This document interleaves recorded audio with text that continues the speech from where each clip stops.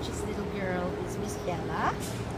Beautiful brindle coat, small, pretty, gorgeous, gorgeous. Like I don't know what color her eyes are. Mahogany. She's just so beautiful. Well taken care of. Her coat is gleaming.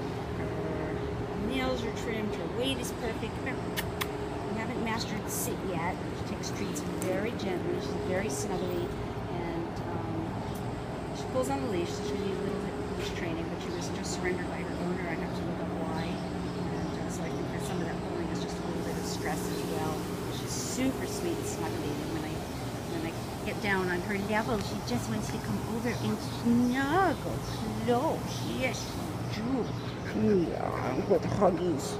And good huggies, yeah. And she also does belly rubs, and the, the pen was just hosed down, so um, she actually laid down because it was nice and cool, wasn't it? Yes, it was. At this beautiful, beautiful. She's just so sweet. Yeah, did that feel nice and cool on your belly? Miss Bella? So pretty.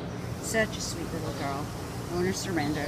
She's at Manhattan Animal Care and Control. Not sure why she was surrendered. Yeah, I know. Oh, yeah, you're getting little zoomies. Okay.